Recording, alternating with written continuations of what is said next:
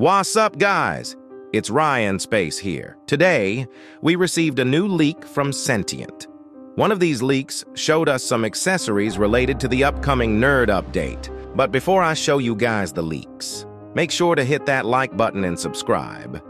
Make sure to turn on notifications so you will get updated anytime when I release any typical videos, like exclusive leaks, announcements, theories, etc.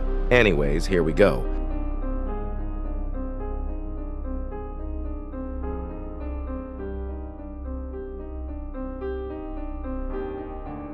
Thank you guys for watching this video.